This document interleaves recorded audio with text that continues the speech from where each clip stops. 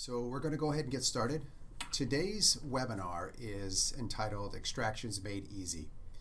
And that's where we're at. Imagine for a second that it's it's 2020 and instead of having the year of clarity, we're in the midst of this pandemic and all of our offices are in turmoil with regards to mandates from the state dental boards and from the national uh, governments, the federal government, uh, telling us that all we can do is limited services in terms of emergencies. Well, in some cases, that would mean extractions and root canals, and those are kinds of things that a lot of times as general practitioners we don't do very often. So we thought that it would be very, very good idea to put together today a very short one-hour presentation that, can, that consolidates an entire course of uh, material, an entire day, into one hour. So we're going to speak really quickly, and the reason we're going to do that is because uh, this is going to be recorded and it's going to be available for you. So when this is all over, you're going to be able to uh, watch it again. So I'm not going to backtrack too much. I'm going to go pretty quick. We're going to cover, uh, in order to keep this entertaining, we're going to cover some stuff using some videos and some live demonstrations of tools. So that'll be very helpful for you guys to visualize what we're talking about a lot of the parts that are going to be mentioned here are going to be available to you through Hu-Friedy's uh, website. They're going to have a, an entire PDF available to you, and we'll send a link to you uh, at the end so you can easily access that. So don't worry about trying to write down all the numbers. You can write down uh, notes and cliff notes and such just at the high level. I also asked Peggy, who's my local Hu-Friedy representative, if I could use her as a, a live person sometimes when you first uh, want to start working with a company, all you want to do is talk to a real person. So Peggy has a, uh, has graciously volunteered to do that for us, and I thank her for doing that. As you can see on the screen here, her email is, is here, and you can come back and watch it again. But you can email her and get in touch with her directly, and she can point you in the right direction. For questions and answers, what we're going to do is we're going to fly through this presentation very efficiently, and at the end, what we'll do is we'll stop and we'll take all those questions and answers. So as they queue up, we'll answer them at the end. So I am the Smile Engineer. I call myself that because I have a few degrees in engineering and then I have a dental degree. So if you put them together, I'm the Smile Engineer. And we have uh, worked with these companies. Uh, I don't receive any compensation from them. But we want to thank these companies and organizations for helping to spread the word and let out let people know that we're doing this presentation for their benefit. So thank you to these companies for working with us. This is a summary slide right here of how complicated extractions can sometimes be. This is a this is a chart that's simply trying to make it easy for us to determine on the left vertical column how many instruments can be used for different teeth and it's very complicated. And if you break it down, the same kind of content can be broken down this way. And what you'll notice in this one, that pretty much for every single tooth, there's more than one instrument that can be used for those for those extractions. And today, what we want to do is we want to simplify this whole process. What we'd like to try to do is break it down into three basic instruments that you can use to pretty much do every case out there. Uh, this is going to be very helpful for you, for your team, and for your patients. Before we get into uh, the armamentarium and the implementation, we need to touch on the fundamentals. So we're going to start right now with uh, a couple of high-level basic principles that you need to understand that everything else will fall from. Now, the first thing is is that you want to use a steady force. So there's something that happens when you use a steady force that I want to read to you.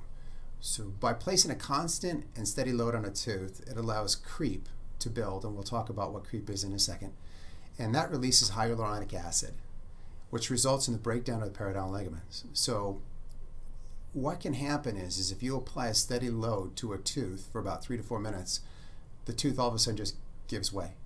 And we've all experienced this, certainly in dental school when we were doing extraction, we had a case, it wasn't going well, we went and got an attending or a resident and it took three or four minutes for them to come in. And when they came in, they put something on it and then took the tooth out right away. And they looked like gods. And we were like, man, they are so they're so amazing. I, I wish someday I can be that good. And well, they never really told us about this. At least they didn't in my dental school training. Is that if you just wait three or four minutes, the tooth loosens itself after you put initial uh, load on it. So that's the first thing we need to know. So be patient. If you give it time, the tooth will loosen itself. So be patient is the first thing. The second thing is creep. What is creep? Creep occurs in a material when an increasing deformation is expressed as a function of time when subjected to a constant load. So this is the creep curve for bone. And what you want to know here is on the vertical axis we have strain, which is how much the bone is changing in size. And on the horizontal axis we just have time. So what you can see from this curve is that when you put a load on the tooth, a, a uh, uh, uh, tooth to bone interface, immediately there's a change in, in, in, in conformation. It changes shape immediately a little bit. And then if you just hold that force steady, just hold that force steady over the next few uh, seconds to minutes, the, the bone will start to change shape. Okay, and then at the very end, you can see it, it changes shape very, very steeply at the end. So if you can wait those three to four minutes, when you get to the end there, the bone just gives way and the tooth just comes right out. So we're going to actually take these principles and use them, and we'll show you today how we're going to use those. So the second thing is bone moves. When we apply this force, the bone is going to move. You need to you need to make sure that you are thinking about bone not like cement in your mind, cement like it doesn't move, but more like soft dirt that can move with time if given time. And how do we know that? Well, just look at this tooth right here. How did these teeth come out of a hole that was smaller than the diameter of the roots? If you look at the roots, they're curved in, their, in, the, in the diameter. If you drew a circle around the roots, it's, it's bigger than the, than the neck of the tooth but it came out. And the only way for that to happen without the root tips breaking is for the bone to give. In fact, Dr. Kirby, Kirby Levitt out of Las Vegas posted a video to Instagram, if you follow him on Instagram, uh, back in January of a ridge split. A ridge split is a process where you need to make the ridge wider, and you do that by making a split in the ridge and then using some tools to widen the bone. But if you actually watch his video, what you'll see is the bone's actually bending. It's moving out of the way. So this happens all the time with extraction, so we're going to use that to our advantage. The next tip that you need to understand is that bone is extremely strong in compression. It is about 30% weaker in tension and about 65% weaker in shear. So if we know this, if we know this, we can use this to our advantage. What does this mean? It means that most likely we don't want to put the tooth to the bone interface in compression. That much, nothing much will happen when that happens. In fact, if you take a regular healthy tooth and you bite down on it, nothing happens. And that's because you're putting the, the tooth to the bone in a compressive mode. How do we extract teeth? We don't push down on the, on the root tips, do we? We don't push down on the tooth to do that. We do something different. We're going to get into that.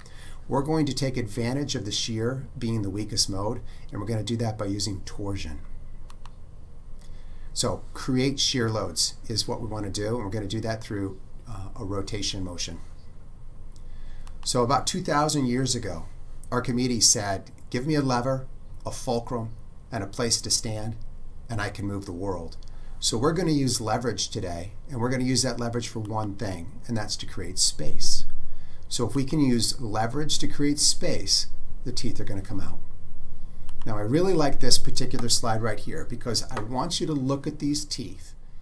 We've all looked at these slides before. We all know what teeth look like, but there's a commonality that you see here that, that is just staring right at you, and that is almost every one of these teeth has a conical root.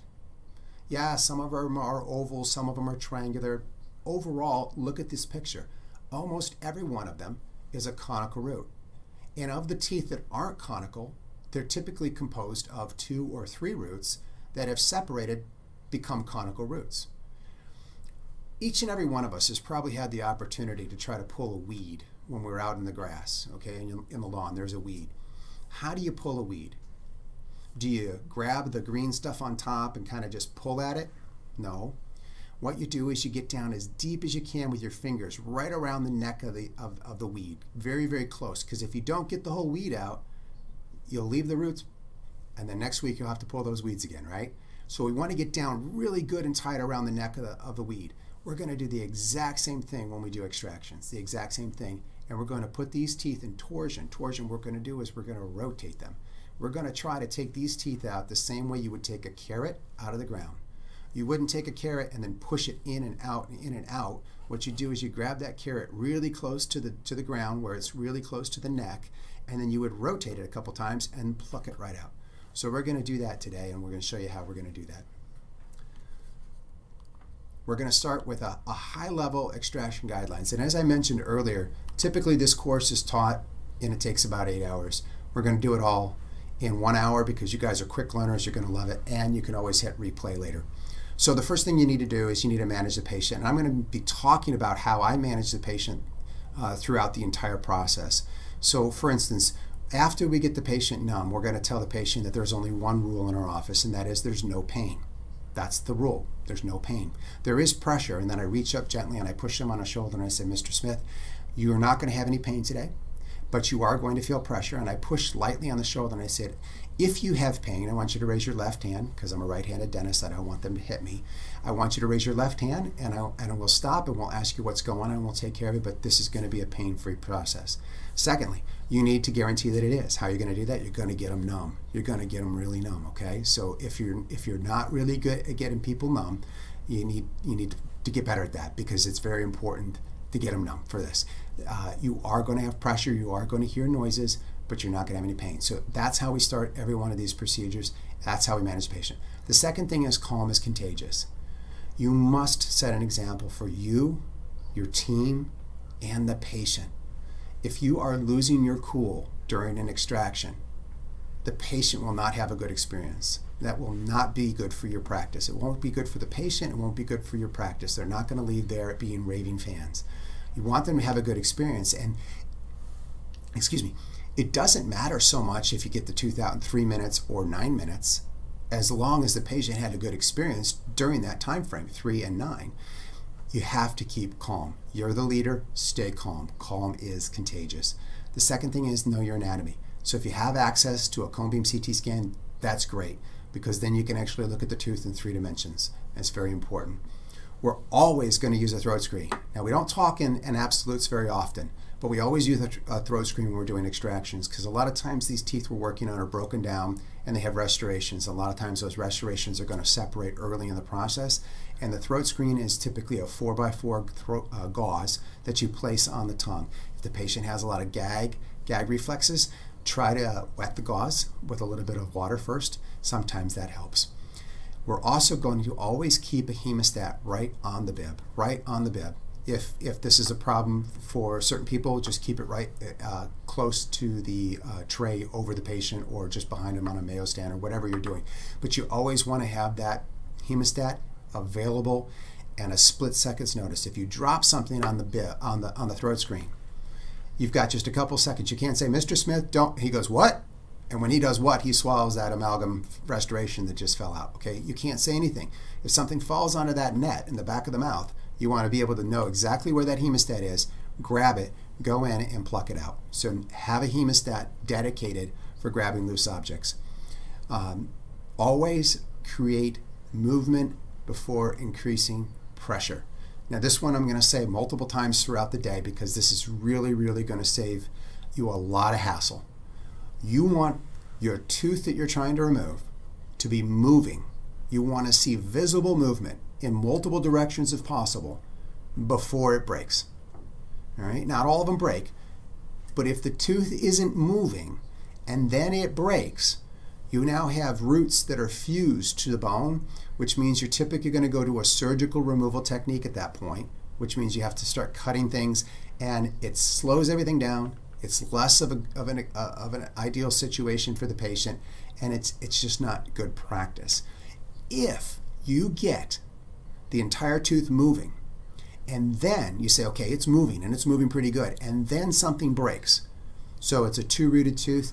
The tooth breaks, one of the roots comes out and the other one doesn't. Guess what? The root tip that's in the hole is already loose. You loosened it when the whole tooth was loose. So retrieving that becomes quite, quite simple it, much, much different, okay? So I can't stress enough how important it is to make sure that you always create movement before you start to increase pressure on the tooth. Want to use bite blocks when removing lower teeth in order to support the jaw. You use a bite block for the upper jaw. A lot of times it gets in the way of the coronoid process when the jaw opens, covers the posterior teeth. So a lot of times it doesn't work so good. So bite blocks for lowers, not typically for the for the uppers. With a 702 burr, which is a surgical burr, most people that when they're starting, when they have to section a tooth, they don't go deep enough. So there's a rule of thumb that go deeper. We'll talk more about that as we get into it.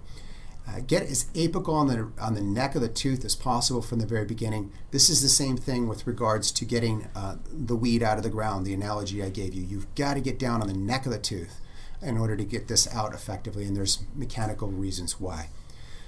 Listen to the tooth. Feel the tooth. Take it the way it wants to go. They're all kind of saying the same thing. As you're doing this, the tooth is going to talk to you. You're going to feel that it wants to go this way easily and then when you want it to go this way, it doesn't want to go that way. Listen to it. If it wants to go this way towards the lingual, take it to the lingual. If it wants to go to the buccal, go to the buccal. Find the path of least, least resistance and take advantage of that. Be patient. Steady and slow, or slow down to go fast. They're all saying the same thing. Slow down to go fast. If you get that tooth movement that we talked about, and then the tooth breaks and the root tip is loose, you can still get that out pretty quick. If you go fast at the first, you break it, and you've got root tips that are fused to the bone, it's going to slow you down. Why? Because those tips are typically where? Sitting on top of the nerve or sitting underneath the sinus. Both of areas that are going to give you a pucker factor when you try to go in there with a handpiece. So we don't want that to happen. So slow down, let the hyaluronic acid do its job, and the tooth is going to come out real easy. Uh, be careful between restorations when you're taking out teeth, and we're going to talk about the protocol that we're going to propose today is going to be a little different than many have probably heard in, in dental school with regards to the use of elevators. I, I, we'll talk about that shortly, but just be careful between restorations when you're using elevators. They have a tendency to break the, the adjacent restorations, so be very careful there. Visualize the tooth when possible, that's good common sense. Use leverage, we talked about that to create space. And the very last thing, which is comes from uh, Heartbreak Ridge, Gunny Sargent. Let's go, move out. You're Marines now. You improvise, you adapt, you overcome. Four minutes, fall out. So in this movie, Clint Eastwood plays uh, Gunny Sargent, that is in charge of taking a group of misfits and turning them to, to Marines. And so he says in this movie, he says it a few times, improvise, adapt, overcome. When you do oral surgery, when you're removing a teeth, you should think the exact same thing. Improvise, adapt, overcome. Why do we say that? First of all, there's nobody standing over your shoulder giving you a grade on this extraction. What you what your objection should your objective should be is to get the tooth out saving as much of the surrounding tissues as possible, making the process as atraumatic for the patient as possible in a very timely fashion so that they heal beautifully and they have a great experience. Okay, so that's your goal. That's it. Any one of these tools that we're going to talk about today, if you were to press them into action and ask them to do something that they're not typically asked to do, but with the outcome of what we just talked about, it would be perfectly fine. There's, there's no rule that says you can't use these instruments in a different way. If we're going to talk about an instrument called the 23 today and we say we use it in a pumping action, but you're going to see that every once in a while I use it in a rotating action, uh, action. So what we're saying is improvise, adapt, overcome, use these tools to get the job done in a way that's good for the patient and for, and for the, the patient's healing. We're going to break down the entire surgical kit into three main categories. We have some essentials that we'll, we'll go through real quickly. We're going to have some elevators, uh, which are basically tools that use leverage to create space. And then we're going to use we're going to have some some forceps for uh, extracting the teeth. So let's start with the essentials. The first thing we want to talk about is the mouth prop. I don't typically like the adult mouth props. They're too big. I find that they they don't fit hardly anyone. I don't know what what adult they made those for. Uh, the two smaller ones typically are great. Everybody's got mouth props. Make sure you use the little loop and tie some floss around that so that if, if the mouth prop becomes loose, they don't aspirate it. OptraGates are great. If you haven't tried these yet, they're great for a multitude of things. But look at this picture, and what you're going to note here is how much light is in the mouth. These OptraGates are made out of a milky plastic that allows a lot of light to reflect into the mouth, and it really illuminates the mouth well, as well as protecting the lips and keeping them out of the surgical site. Here's a quick video on how to insert the OptraGate.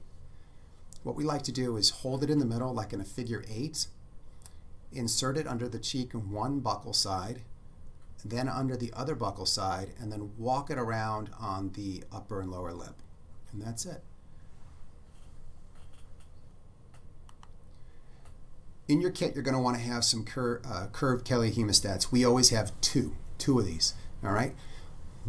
Hemostats are, are designed for cutting off small arterioles if you have a bleeder, but they're, they're used in the, surgical, in the surgical arena for a multitude of things. Most of the time, people use them as pliers. We do everything from opening packages with these to loosening uh, implant components. Who knows what they're used for? But we have two in our in, in our surgical suite, and one is labeled with a with a little piece of tape that you use for marking your instruments in hygiene.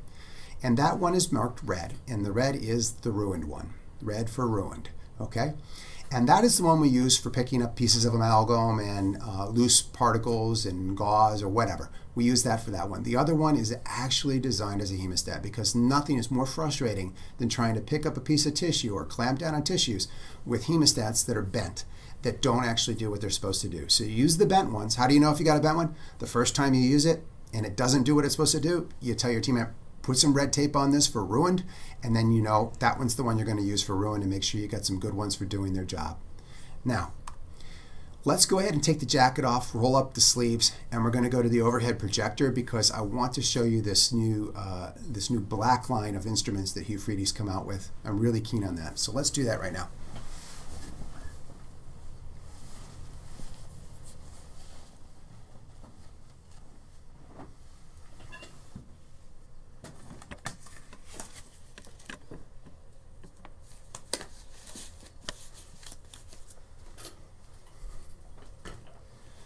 All right. So here we go. We have Hu-Friedy's new black line. And this, you know, at first glance, it, it looks just like a regular mirror, except for it's black. Now, why is this important? Well, here's your traditional mirror, and here's the black mirror. And what do you see? You see that we have all of these highlights that are reflecting. Now, they're reflecting off of my, my, my light in this room, but what are they reflecting off of when we're doing surgery? They're reflecting off of uh, from our headlights. And our headlights are creating this reflect, and it creates eye strain. And I'll tell you what, I've been using this for a few months now, and I absolutely love it because it reduces eye strain. Not only have they come out with it in the mirror, but they've come out with in a lot of their product line. And so we're systematically replacing all of our instruments with these black lines. So I like them a lot. This is a double-sided mirror. Obviously, this is your traditional single-sided mirror. Whatever is your fancy, you know, they're fine. So mirrors are your are your first your first component that we need to look at. The second thing is you need to have a um, just an Explorer. We don't use these very often in surgery, but just a traditional Explorer. Keep it in your kit because as soon as you don't have one, you're surely going to need it. The next thing is just a, a standard aspirating syringe, and this is the type that we use. We like it a lot, and you're not going to spend a lot of time talking about this because you guys are dentists and you do this for a living. This is your Minnesota lip retractor. I use this all the time, uh, uh, all the time. This is a must-have. Uh, created at the University of Minnesota.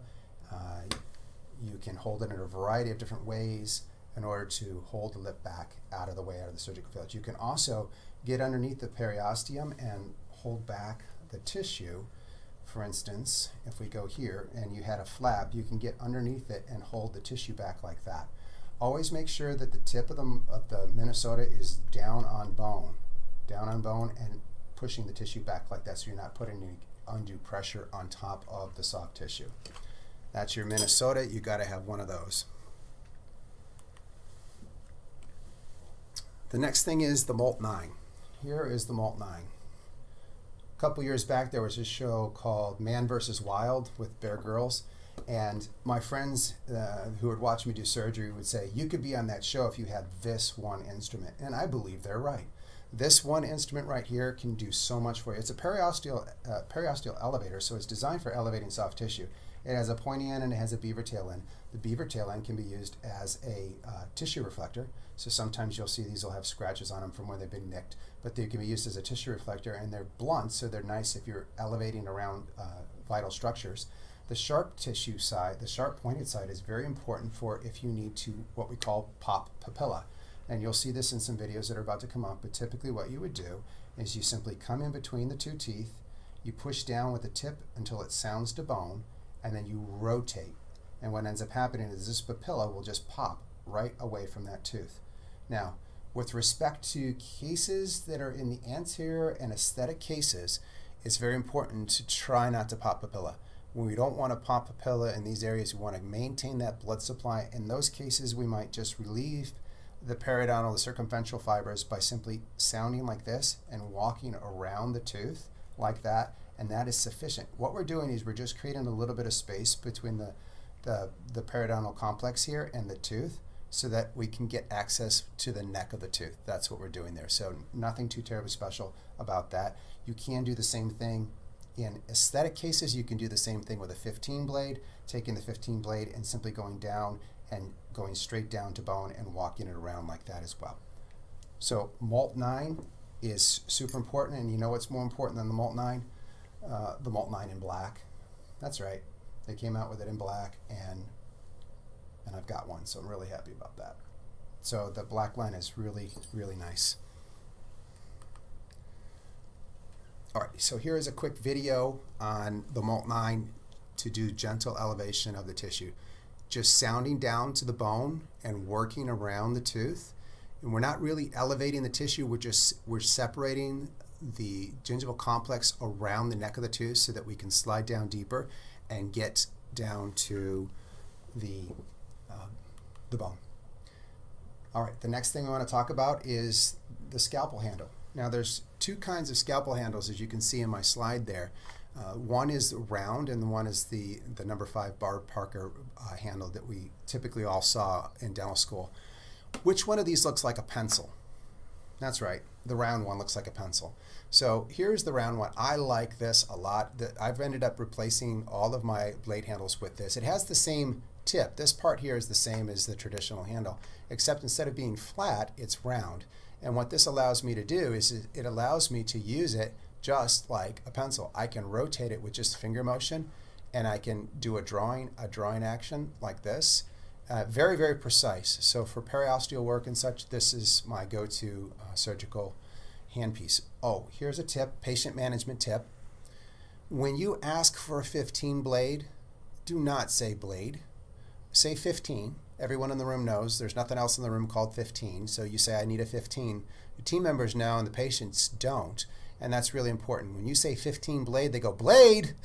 And, and their blood pressure just goes straight through the roof and you don't, you don't need their blood pressure being any higher than it already is. The 15 blade I mentioned is is this one right here. This blade is your is your workhorse. You, you know there's a, a 10, 11, a 12 blade, a 15 blade. There's a lot of different blades out there, but this is your workhorse. You can pretty much get everything done for simple extractions with your 15 blade. Which takes us to the, the to the second section. So that first section was just your basic essential tools that most all of you have uh, seen or are using currently. The second section is elevators. And we're going to break the elevators down into three main elevators. Uh, we have this first one here, which is your 301 straight elevator. And what you can see from the 301 straight elevator is that it's straight and that it has this kind of concave aspect to it right here. And the proper use of an elevator is to luxate the tooth or create movement of the tooth. And it's very important to understand how you want to do this. So I'm going to show you on a model here. If I was going to go between these two teeth and I want to, I want to luxate this tooth, if I go into this spot right here, Hey Siri, can you zoom in a little bit? Would you like it louder or softer? That's perfect. So the concave side of the instrument, of the elevator, goes against the tooth that you want to loosen. And when you put it in, you're going to rotate it this way. You're going to rotate so that the top of this instrument is pushing against the tooth you want to loosen. So it goes that way, okay?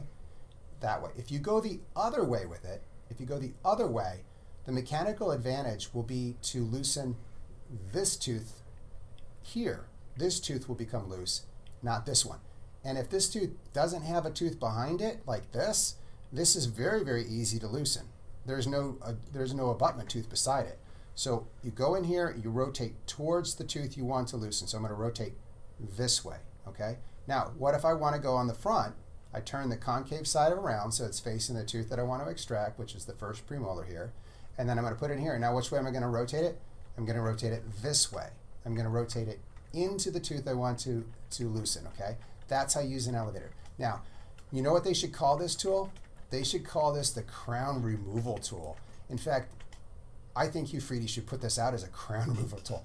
This thing is amazing at removing adjacent restorations. If you if you've done some extractions, you know this. You put this in here and you put it in there and you rotate the proper way and there's an amalgam on this, there's an MO on this tooth right here, it pops right out. It pops right out and that will slow you down. So I'm going to suggest that these are very important instruments to have and I'll show you later why, but I don't elevate teeth anymore like this, okay? When we go to the next instrument, it's another elevator. It's the same as the first one, but it's called the 34 and this one is its bigger brother. So the 34 is slightly bigger than the 301.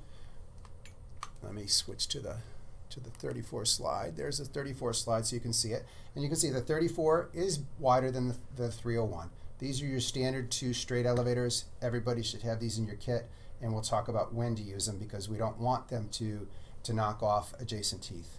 So those are our straight elevators. The next elevator I want to show you are the Cryers. These are the Cryers, and they're also called flags. You can see why. They kind of look like a pennant flag. And they're also called east-wests, uh, north-south. We just call them the Cryers. And the way these work is you say you've got a root. Hey Siri, can you get a little bit closer here? Great, perfect say you've got a, bif a bifurcated root like this, and you are able to get the distal root out. So this one's missing, but this one's still intact.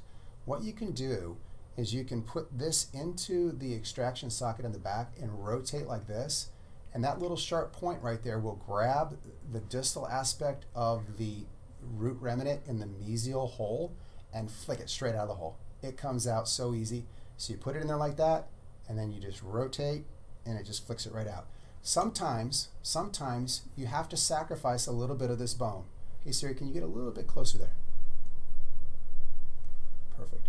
So right here, this, this uh, radicular bone right here, sometimes this piece that's in the mesial, remember, for our, for our conversation here, there's a root tip in the mesial, but in the distal there's not one. Sometimes you can't get a purchase point on it because it's broken off below this bone you can come in here and just get that bone right there and just just like that.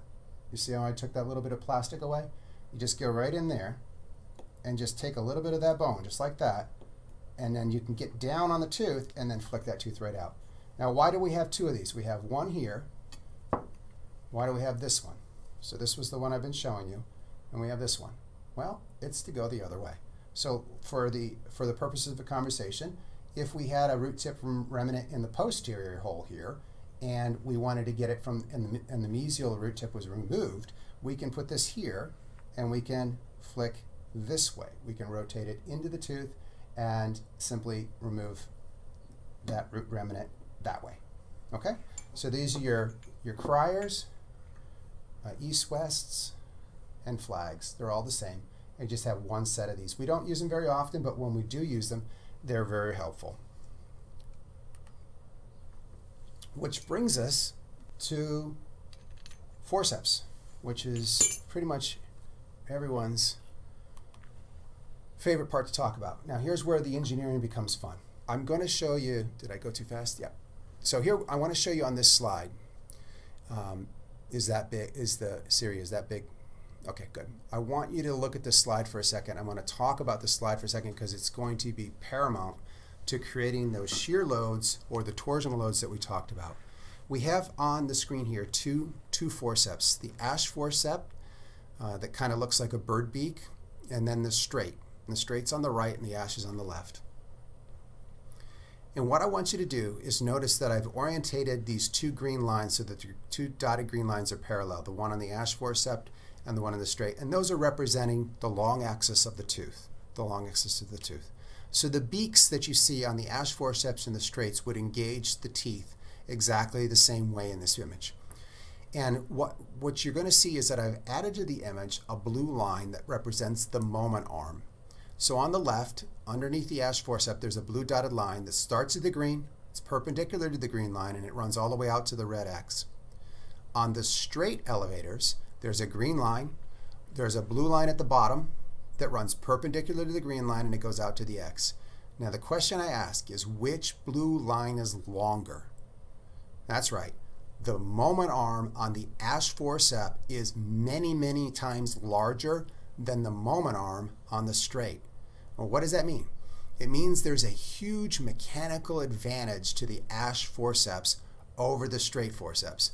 In fact, if I don't even need straight forceps in my armamentarium. I would never need them. Now, you're going to see plenty of videos with me using them today because they make for better video, but they don't make for better uh, surgical outcomes. The, the ash forcep works a whole lot better because of this mechanical advantage. And let me, let me go to the, uh, the model here and I'll show you how it works.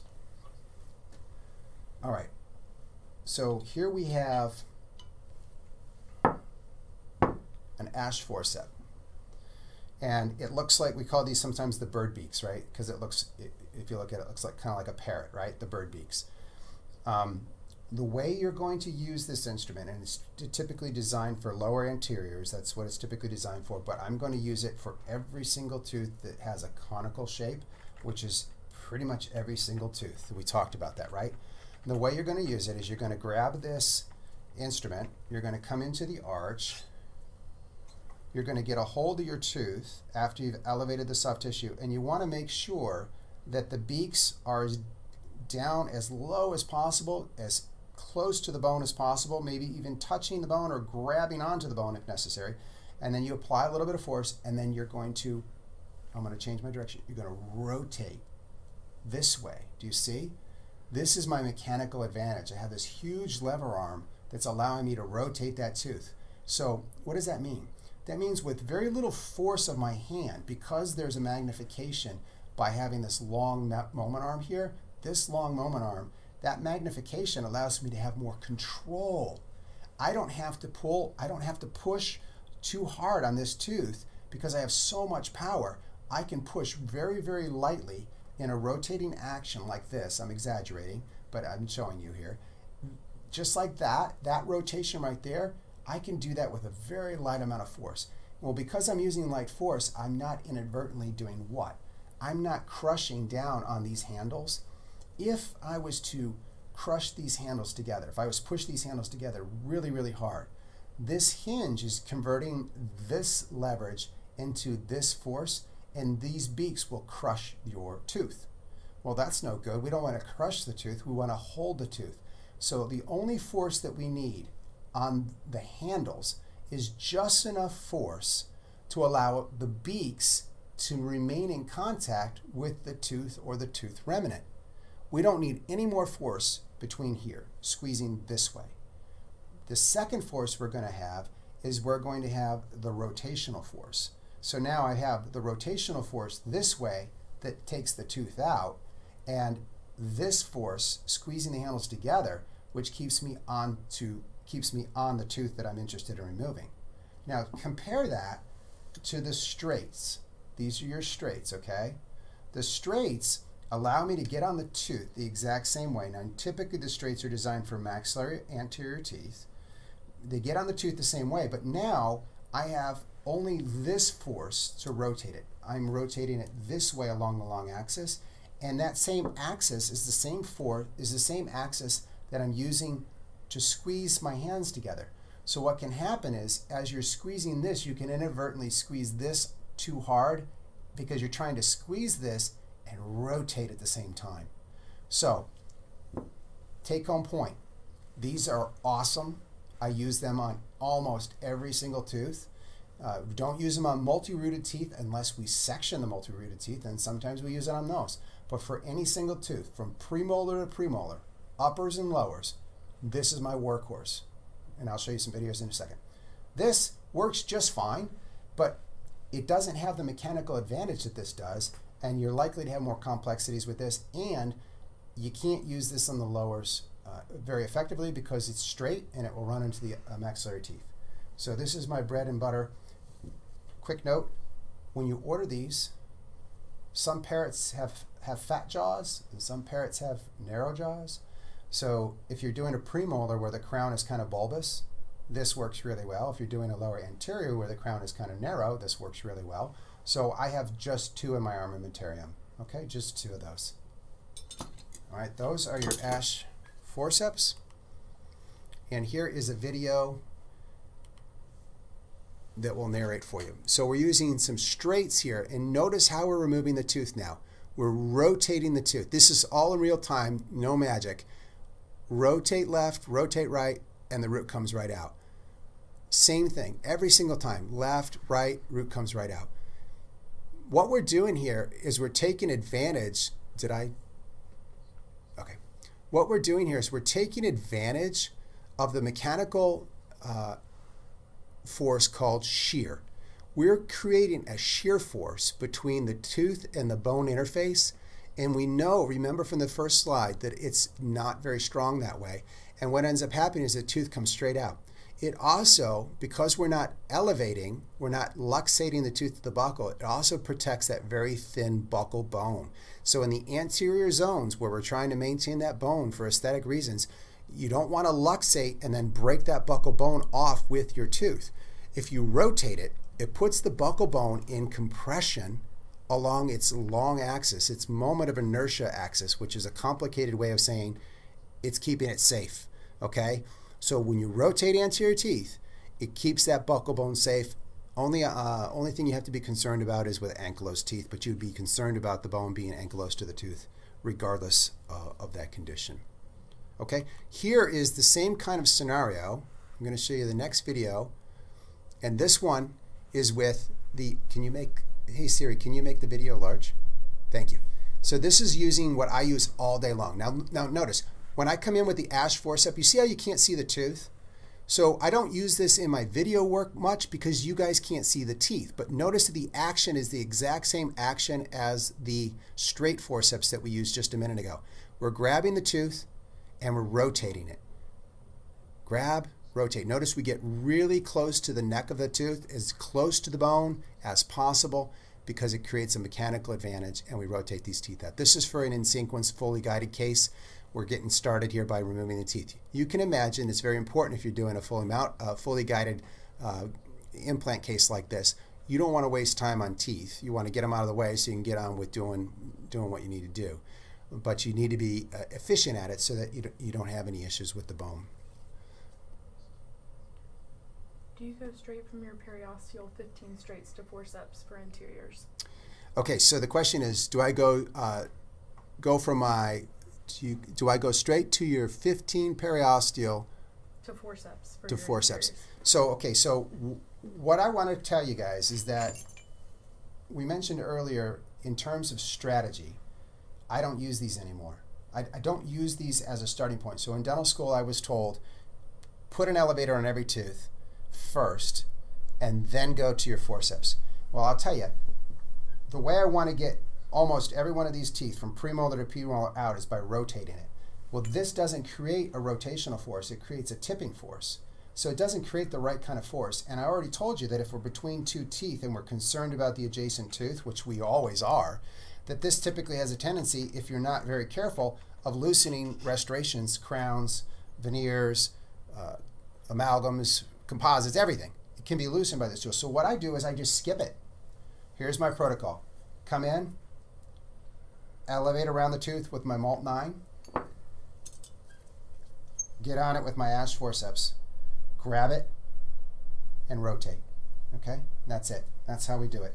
And I've got some videos here in just a second, some, some real live videos that'll walk you through that. All right.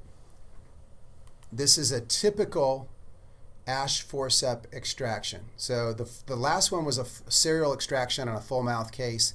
This one is a premolar that's broken off of the gum line. And we're going to get on it with the ash forceps here where I'm applying, you can see my, my index finger is applying a little apical pressure. Now notice the reflections in the metal. Do you see the reflections? How they're, I'm rotating the instrument back and forth and back and forth, and I'm holding the instrument with just enough force. The beaks are only compressing just enough to hold the root remnant. I'm not trying to crush it. The, usually that part is very fragile anyways, uh, because it's normally demineralized. So we want to just hold it just enough and then it just comes out. And that's a typical broken root uh, premolar extraction. Rotate, rotate, rotate, no elevation. No, no, luxation with, a, with an elevator. And go ahead and curettage and irrigate and you're done with that case. So that's a, that's a typical example of uh, straight teeth. So now we're going to be able to do that, that protocol right there from premolar to premolar, straight through the front anterior teeth, all of them the exact same way. Get out of it with the ash and rotate, okay? But when we get to the first molars, they change a little bit, right? And the first instrument I want to talk about is the, called the cow horns. So you can see in the video, in the picture here, that, and, and this is the cow horns. They're called 23s, and they're called cow horns because they look like cow horns, okay? So pretty clever, right? They look like cow horns. Now, the way I remember this is I'm a big Michael Jordan fan. Michael Jordan's number was 23. He played for the Bulls. He played for cow, cow horns, 23s, right? So this particular instrument is the 23. So the 23 Cowhorns, all right? The way this instrument works is it works through a pumping action and it's great for bifurcated teeth. So let me show you what I mean. We're going to come in here and we're going to look at this, this uh, second molar here. And this second molar, we're going to elevate the soft tissue. All right, so we're going to come in with a Molt 9. We're going to elevate this soft tissue on both sides, pushing down to the bone. And once it's loose enough, hey Siri, can you zoom in just a little bit? We're going to take the 23s and we're going to put them into the furcation, okay? We're going to put them into the furcation just like that. And that's what you're going to see in the mouth, okay? And then what you're going to do is you're going to do this pumping action. Up and down, up and down. Let me do this. I'm going to magically remove the soft tissue. I'm going to show you the furcation. And I'm going to come in here. I'm going to put that right under the buccal. And then I'm going to make sure that I get into the lingual here, into the lingual furcation. And then once I get it into position here, I'm going to apply a little bit of light force until it starts to seat. So a little bit like this, and then it seats. And then I'm going to start to apply. Hey Siri, can you zoom out a little bit? Sorry, I'm not making up my mind here. A little bit more. I want to show this. When I'm squeezing this together, I'm going to keep kind of a constant force here with slightly increasing pressure as I'm bringing these together. These two horns are sliding into the furcation, and as they do, they're creating a mechanical leverage on the buccal bone and on the lingual bone, and they're literally pulling this tooth straight out of the socket. All right? So pressure, pressure, pressure, pressure is increasing, and then that tooth is going to come straight out. Now, with with roots that are parallel or convergent, when doing this technique, it's possible for this tooth to shoot out of the mouth like popcorn. So it's very important. What did we say earlier? Always use a throat screen. For this particular instrument, in especially this instrument, when you're doing this, this can shoot out, and when it shoots out, it hits the upper teeth somewhere or the, uh, the palate, and it shoots around like a ping, uh, uh, pinball machine. So that's the word I'm looking for. A pinball machine. The, the, it shoots all over the mouth and you don't know where it's going to go. So that's how you use a 23. Let me show you how, how it looks on a video.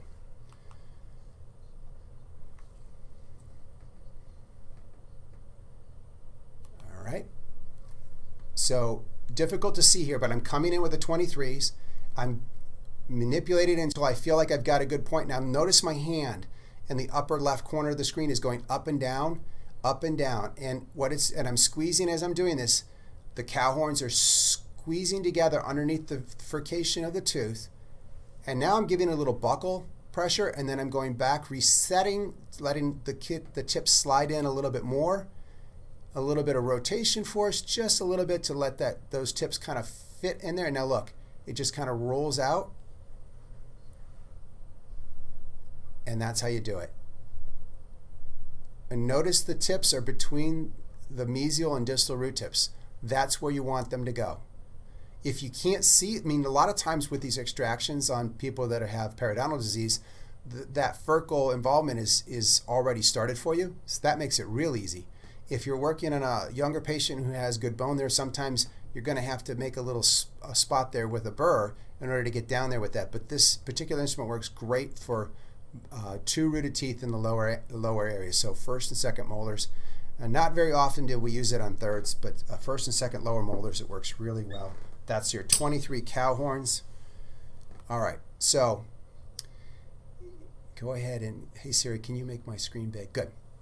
Second World War, Germany created a artillery gun called the 88. It was an 88 millimeter cannon. It was used for anti-tank and for uh, anti-aircraft. It was used for a multitude of things.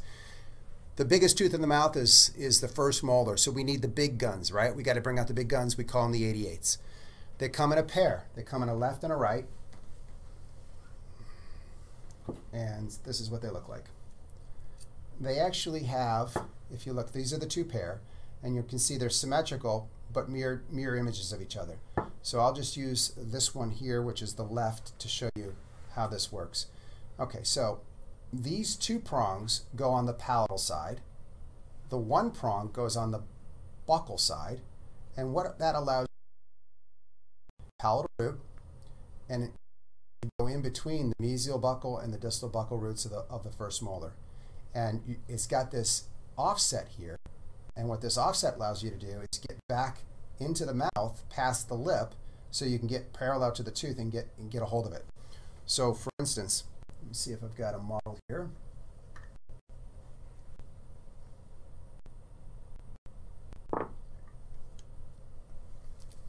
Let's say, for instance, we were going, and that was a tooth and not an implant. So what we would do is we'd place that right there, right at the level of the bone. Okay, it cut off. Okay, so I was just told by Siri that my audio cut off for a split second there. So uh, I'm going to back up for just a second. And in the Second World War, Germany had created a, a weapon called the 88s. They were 88 millimeter cannons, uh, and they were very effective. And they're called the big guns, right? So for the biggest teeth in the mouth, the, the first molars, right, on the upper first molars, the largest teeth in the mouth, we need to bring out the big guns. So the way this is a, a, way to remember, just like Michael Jordan is the cow horns, 23s are the cow horns. The 88s are your big guns for your first molars. And this is the 88 forceps, and it's designed for extracting upper uh, molar teeth. You can use them for second molars too, but predominantly for upper first molars. All right, it has three prongs, and those three prongs, what they do is they seat around the teeth into the furcation space on the buccal, right there, and then on the palatal side, what ends up happening is that these two prongs here on the palatal side will actually grab that palatal root. Okay? So let me show you. I have a, a case from Friday, an emergency case that we did. And I want to show you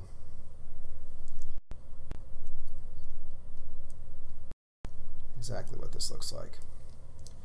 Okay, Siri, can you zoom in just a little bit? So this is uh, tooth number 14.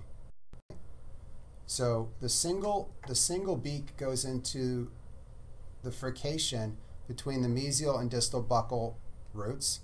And then when we turn it over, on the palatal side, the two prongs are always on the palate. The two prongs are always on the palate and this is going to straddle either side of your palatal root, which allows you to extract the tooth. And we're going to use this predominantly with a buccal leverage motion. We're pretty, pretty much most of these come out to the buccal. So let's go to the videotape and show you how this works.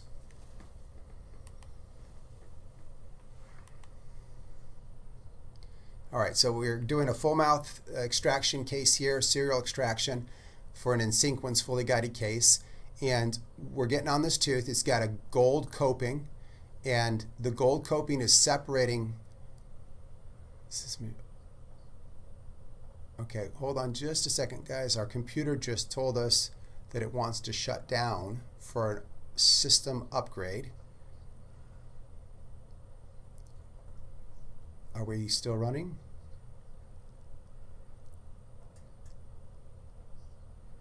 give us just a second, guys. We the computer is trying to kick us out.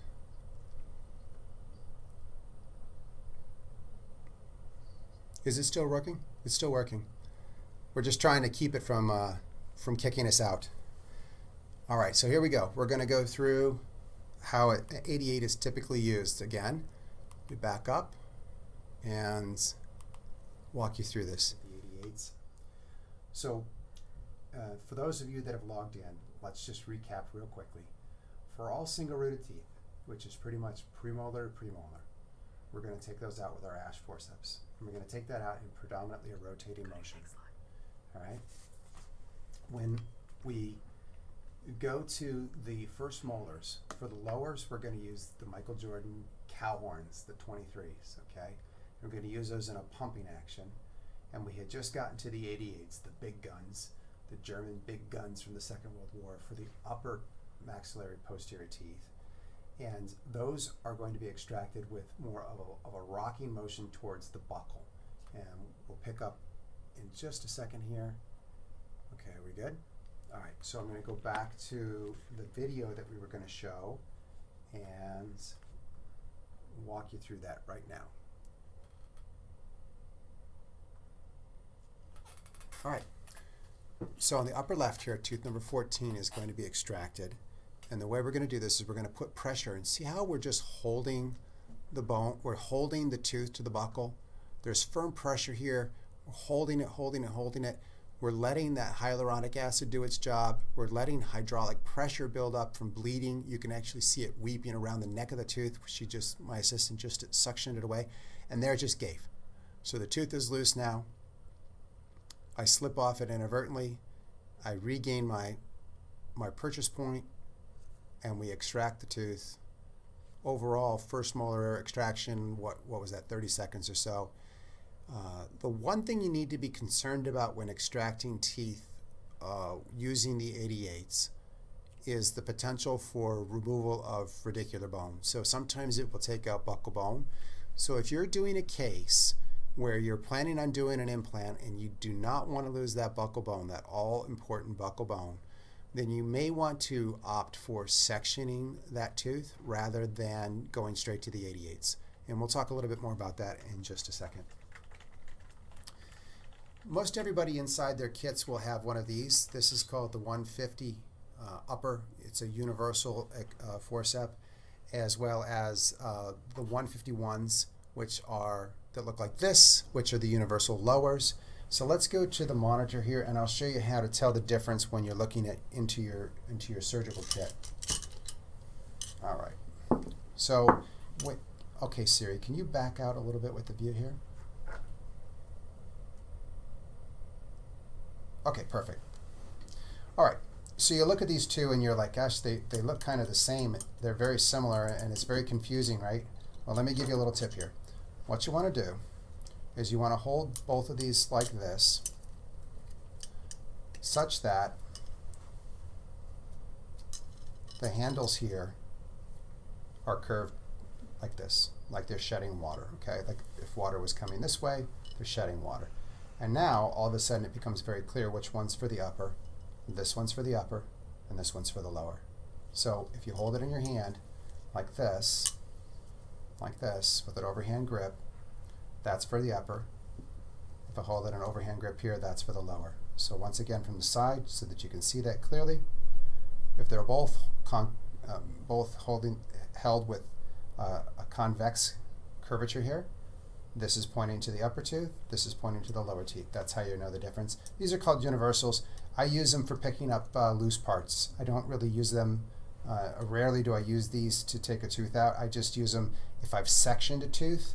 For instance, on the upper, I've sectioned a tooth and I need to get one tooth uh, piece left. I can get on that one tooth piece, maybe the mesobuccal root, and then uh, create a rotational force like this with it, and extract that extract that root remnant.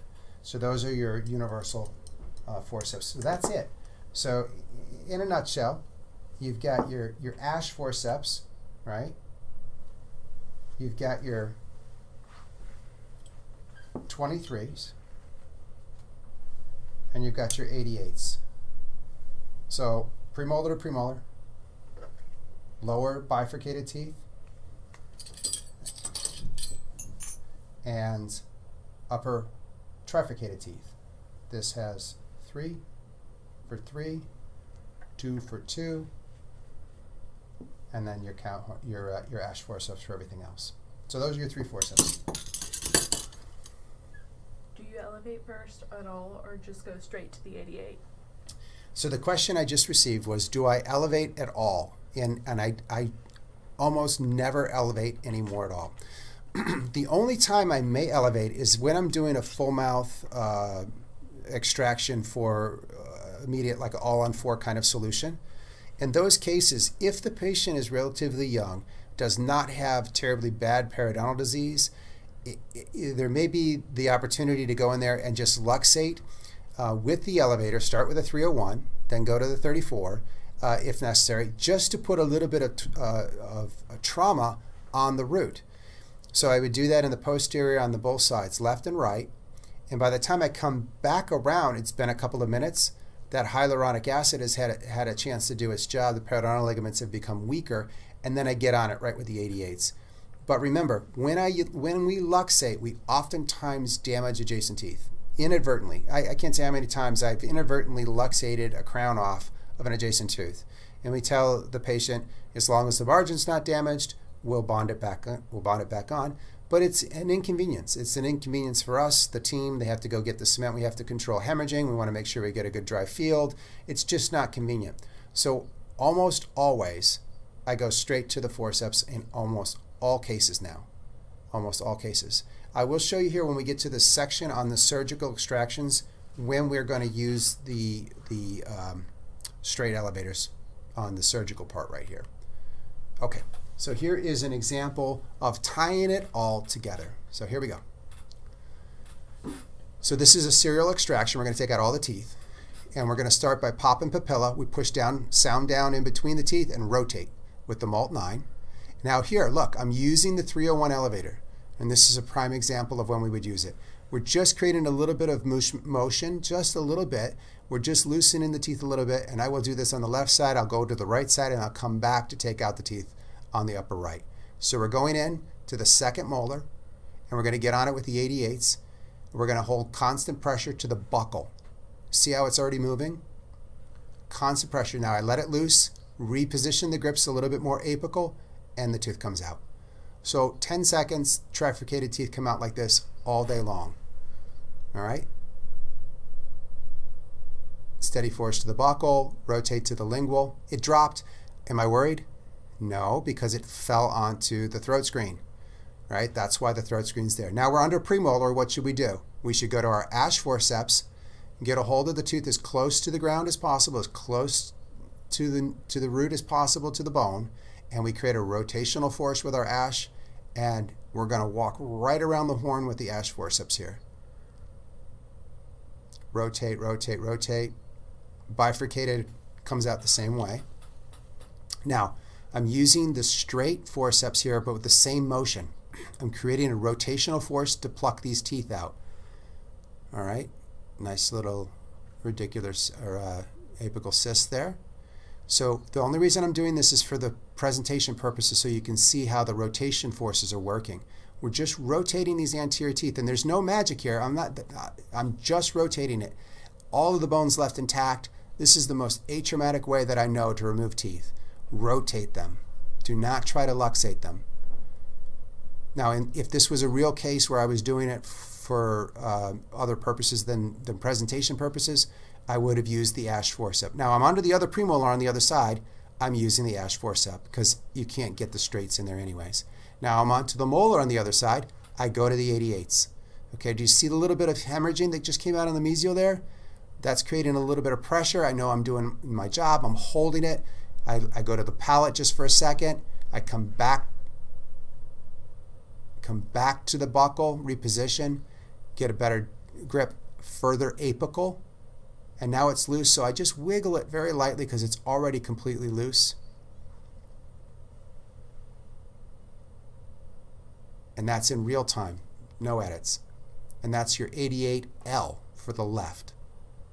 88L for notice there, do you see the buccal bone there that's, that's intact? Now, why did I skip the canine here? I'll tell you why I skipped the canine. Canines have long roots, and when I got on it the first time, it didn't budge. So I just skipped it. I knew that I had already created a little bit of weeping, a little bit of trauma to the tooth, and now it just comes out in 10 seconds. So if you're stuck with a case where you have a tooth that's being very resistant, put a little trauma to it, create a little rotational force on it, leave it alone. Come back in a few minutes and, and get after it and it should come out just fine. Now I'm using my curette, making sure that I don't have any, any sort of infection left in the bottom of these holes. And you can see there's very little trauma done to this case.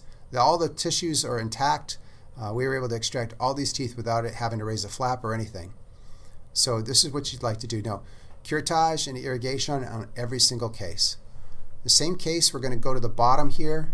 We're going to use the Molt 9, pushing down in between the, the papilla, interdental papilla, and rotating. And we're going to get on the first one with our ash forcep.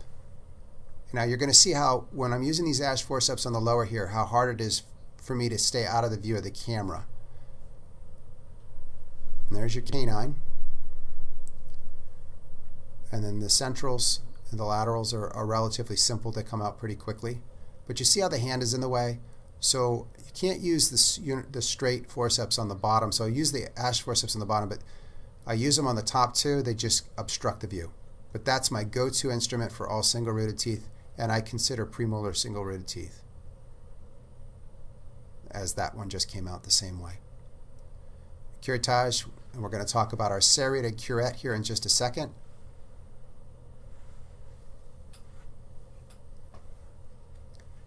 We're done, so we can take the throat screen out, take the, the bite block out. Notice that bite block had gauze on it, or uh, floss on it to keep it from being aspirated. Okay, so now I want to talk about a little mis a couple miscellaneous instruments that help us with the site management. And the first one is the double-ended root tip pick. And we'll go to the, the camera here, and you'll see that I have both of these. I love this instrument. Okay, so this is my typical instrument. It's the silver one, but I just recently got the new uh, black coated one, which I like a lot. Um, but and, and you can see why.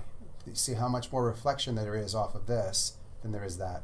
So when we use this, the way we want to use it is we want to elevate and flick out little remnants of tooth that might be left behind. Now when does that happen? Well, in our case, if you follow this protocol, you're going to make sure the tooth is loose before you snap the root off.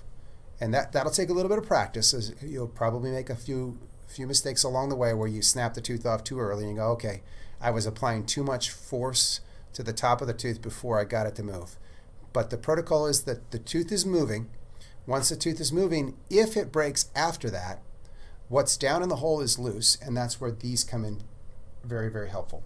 So what you're going to want to do with this, okay Siri, can you zoom in a little bit tighter here? Actually, let me use this one here. What you want to do with this is it's got two ends and they're curved in the opposite directions. So one is one side's kind of flat and the other side's concave. So you see that? And so that way you by having both ends on the same instrument, you can easily turn it over to get into a position you want to get into. What you want to do is you want to go down uh, in between the bone and the root tip in a, in a position where you can get down in there. Say there's a root tip left in here. And you get down beside it and then you flick it. You flick it. Or this is so sturdy. Sometimes uh, I'll rock it back and forth to get a purchase point. And then once I get a purchase point, I'll actually rotate it this way I'm exaggerating the, the amount of rotation, but I'm rotating it this way. And this acts like a little elevator. And sometimes that'll get a little piece out. Occasionally, if that piece is not, uh, it's loose, but there's no room for me to get down with this, we'll use our cube. We'll talk about that. It's a piezo. We'll talk about that in a second. Or what I'll do is I'll go in, I'll make a little slot with a, with a hand instrument to create a purchase point so that this root tip pick can go in there and flick it out. But this is the only root tip pick I use and that's because it's double-ended, so it works in every every uh, location that I go into.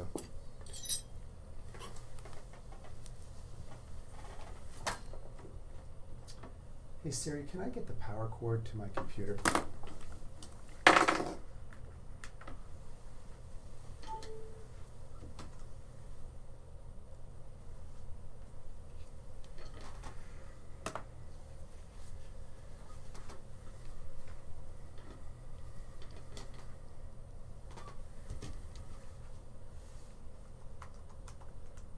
Guys, we're one second away from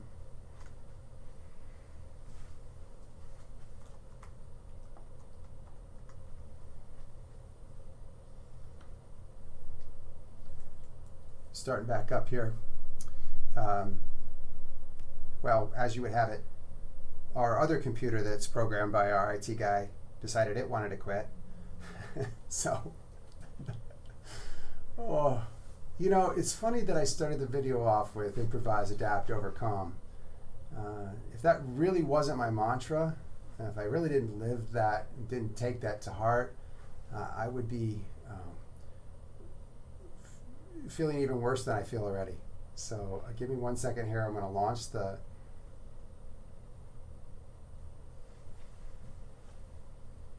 program one more time. unbelievable. Just unbelievable. All right. And then let me jump to our slide. And we're almost to the end here where we can where we can um, do our questions and answers.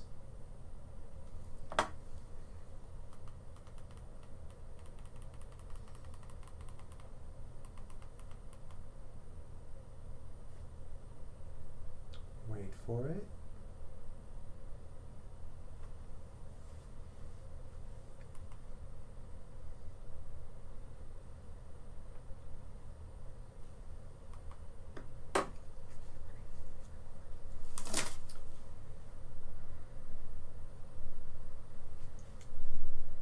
You want to answer some questions? Sure. Um, is there a mechanical advantage of using the ash instead of rongeur forceps? Okay, so the question that was asked is there a mechanical advantage to using the ash over rongeurs? And the answer is yes, there is. And the first, but there's there's more to this question than meets the eye. The first thing is um, ash forceps are, are designed for removing teeth. Rongeurs are designed for pinching bone. I don't have a rongeur on on this surgical kit. This is predominantly for uh, um, simple extraction. So I, with rongeurs are designed for removing bone. All right. In dental school, they'll say, hey, because the rongeurs have these sharp edges, go ahead and use the rongeur to grab a root tip or grab a, a, a, a piece of tooth that's re remaining and you know grab it and, and pull it out. The problem is, is that these root remnants oftentimes can damage the edge of your rongeurs and put nicks in them.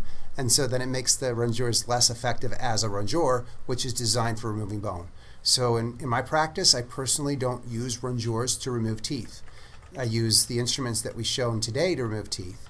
The second thing is rongeurs operate, um, the rongeurs that I have are uh, uh, double action rongeurs. So if you're going to buy rongeurs, my recommendation is double action rongeurs so they have a, a force magnifier in there.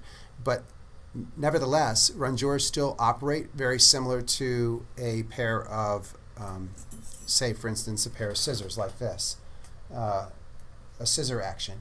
And that scissor action doesn't give you the same mechanical advantage that the ash forceps does.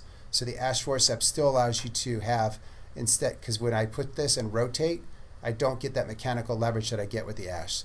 So mechanical, uh, ash wins. For taking out teeth, ash wins because it's designed for taking out teeth. For removing bone, the rongeurs work. And if you're going to buy a rongeur, buy the double action rongeur because it works better than the single action rongeur.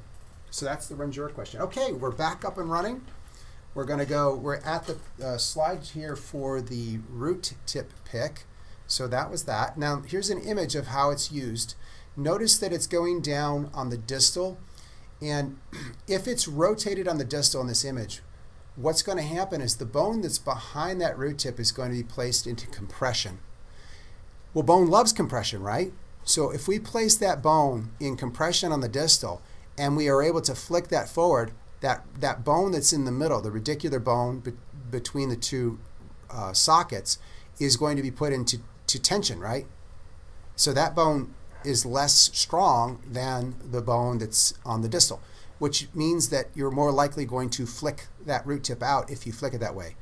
Another thing you should note is that when the roots are curved, you typically want to imagine an extension of the curvature of that tooth and you want to flick it towards that curvature. So for instance, this is a good illustration of the root remnant is being flicked towards the mesial. It's being rotated up towards the mesial, which is a continuation of that distal socket that you see in the, in the illustration there. All right. When we do extractions, we must clean the site when we're done, and we do that with a curette. We use a surgical curette, and I have two of them here, and they're difficult to see because these were some early prototypes. This is your curette, double-ended, and it has a larger spoon on it, and what you're going to do is you're going to go into your socket, and you're going to you're going to scrape the walls of the socket. Now, I have these new uh, curettes that just came out, and they have serrations on them. And they're super, super helpful. Let's see if we can get down. Yeah, this one has the serrations on it. So let me see if I can get an angle. There you, there you go. You see that, guys, right there? Right on the edge. The new ones that just came out, these were prototypes, but the new ones have even more aggressive serrations. This is really, really important, and let me explain to you why. When we extract a tooth, oftentimes the lamina dura is intact. In fact, the way that I extract the teeth with these ash forceps and rotating, the socket's not traumatized very much at all. The lamina dura is almost 100% intact and it doesn't bleed. Well, if the socket doesn't bleed, you don't get a blood clot. If you don't get a blood clot, you don't get a fibrin clot. If you don't get a fibrin clot, you don't get good bone growth. If you don't get good bone growth, nobody's happy. Patient's not happy and you're not happy. So what does that mean? We've got to make the socket bleed. We've done too good of a job of taking the tooth out. We must make it bleed. So a regular curette, just a regular curette, goes into the hole here. And when we go into the hole with a regular curette, oftentimes it's not sharp enough. It's not sharp enough to make it weep, okay? So I want something that's a little bit sharper. So these serrated curettes here are amazing. Love them. They go in there and they really can scrape that bone. I want to get it to bleed. I want to see it bleeding. If I have really, really dense lamina dura, I'm actually going to go in there with a burr, like a round burr, an eight round, slow, and roughen up that surface to get it to bleed. Yet you want this to bleed before the patient leaves.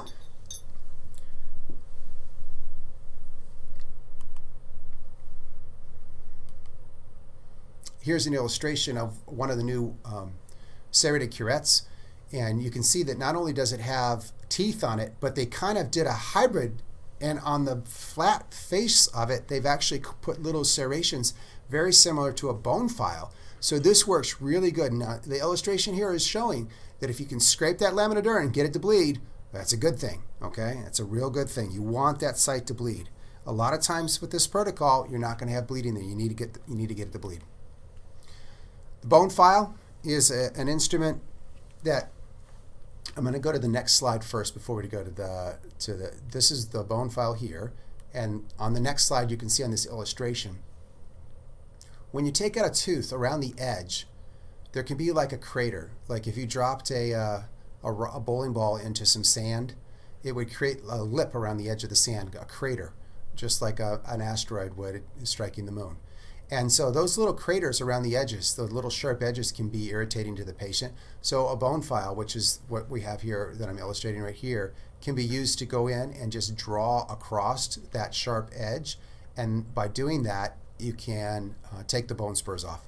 This particular one has two sides, two ends. Uh, they both have the same type of hatch um, work on them, except one is large and one small. So depending on the site you're working on, one of these sites will work really well. I, I like this in particular because my old bone files were only draw only, and these new ones that you see here have a crosshatch design to them that allow them to work in a push, a push, and a pull. So they work in both directions, which is nice. I like that because sometimes it, it's just easier to push or pull, depending on the situation that you're working in.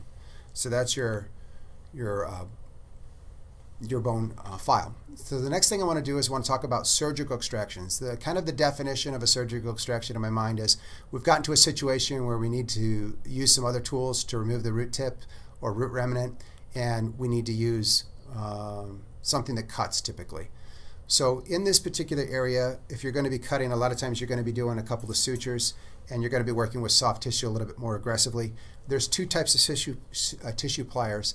The, the first one here are roughly six inches in length, which is a good length to get to the back of the mouth, but they're smooth. So if you look right here, on this section right here, there's no teeth on them.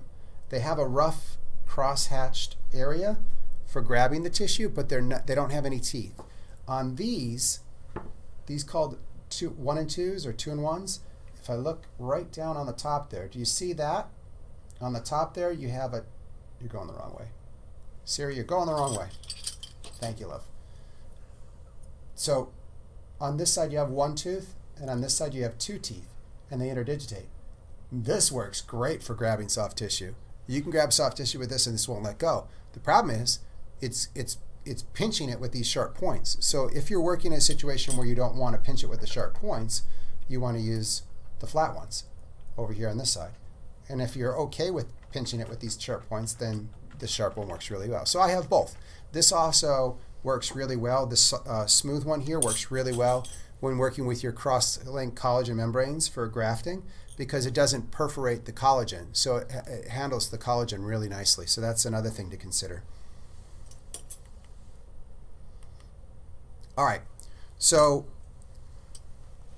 in dental school, they scared the bejesus out of us with regards to um, air embolisms.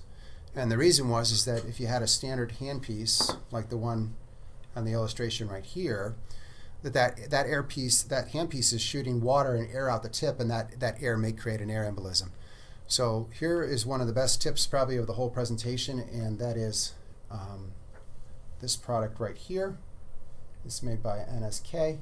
And this one on the bottom uh, actually shoots water out the tip, but the air can be turned off.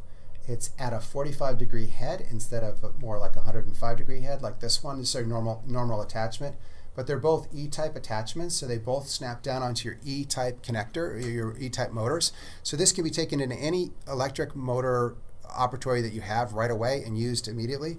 They both go straight down on your E-type connectors and this can be used for your surgeries. And because of its angulation, it can get into tight spots in the posterior really, really well. So for third molar extractions, even second molar extractions, this gets in there really nice and you don't have the concern over the air embolisms. So with regards to the burrs, you can get the burrs in this 25 millimeter length right here and those work really well. And we're going to talk about a little bit more about burrs here in a second. And there's one more attachment that you can get, which is the nose cone attachment. And so what's important about this is just for a few hundred dollars, you now have a surgical surgical handpiece. You don't have to buy a Hall drill like they have at the university, nitrogen-driven drill or something like that. You don't have to do that. All you have to do is buy this one attachment, and it snaps down right on top of your e, e, e motor, just like this one does, and it turns it into a surgical solution. So this is a very cost-effective way to, to get through that. You can also get one of these, which is your, your nose cone attachment. It's also an E-type drive, an electric drive. It has external irrigation. It doesn't have any air coming out the tip. And so this works really well if you have a, motor that's uh, capable of driving a um, stronger motor. This one works well with the longer, the longer drills, the longer shanks, and you can use them with the, the rounds or the straights. So these work really well for getting in the posterior. Say for instance, you're working back here. This can keep your hand out. You can get a finger rest out here and you can get back in there and you can cut back in here very nicely. So that's very nice as well. So those are your two, uh, two handpiece options. When we talk about burrs, I've circled the one in the middle here. It's the 702 crosscut tapered fissure burr is my workhorse. So on the left, you'll see that there's a 701, a 702, a 703. The 701 is the small one, the 702 is in the middle, the 703 is on the right, and they get a little bit uh, wider in diameter. the 702 seems to be the perfect size for almost everything that I do. If I need the trough to be a little bit wider, I'll just make a couple passes with the 702 and it'll make it wider. But there's one more thing about the 702 that's really clever, and that's this right here. So this is how you would section an upper first molar. You would section it, we call it the peace sign. You can see the 1970s peace sign in that image right there. So what we've done is we separated the mesial buccal cusp, our mesial buccal root, the distal buccal root, and the palatal root into three separate roots, and now we can elevate those out. This is where I use my 301 straight elevator. So after I make this, this cut, what I want to do is I want to go and I want to use the three separate roots to allow me to apply forces to each other internally. So I'm going to go down into those three little grooves that I've created and I'm going to take my 301 and rotate it lightly. Now here's the thing. On one of the very first slides I said when you're using your 702 you typically don't go deep enough and this is why. Look down in there. What do you see? You don't see anything, right? You see dark red darkness. You can't see how far you've cut. Well, what's underneath that tooth? The sinus.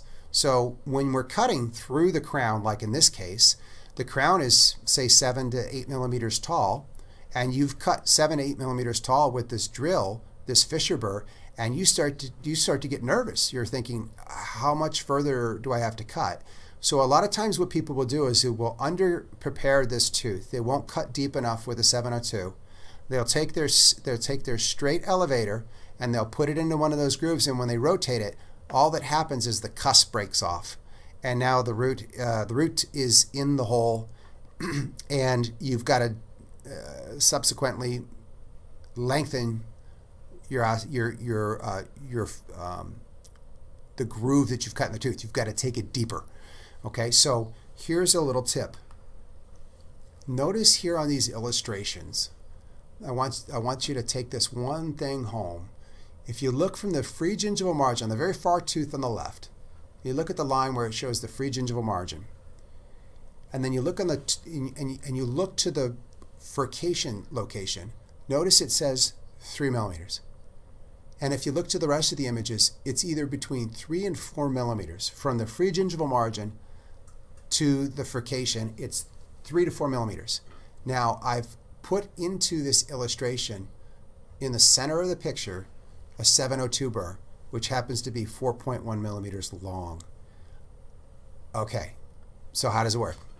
When you're making that peace sign cut, when you're when you're cutting an upper first molar into three roots, you're going to make sure that you use the the uh, the fissures on the burr as your ruler.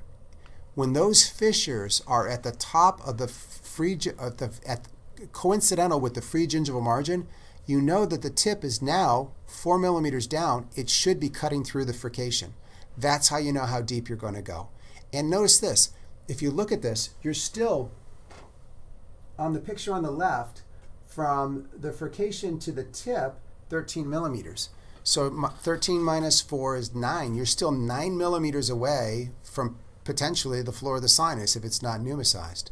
So you're a long ways away. So this, if you keep this in mind, it's going to give you a lot more confidence when cutting these molars into three separate teeth.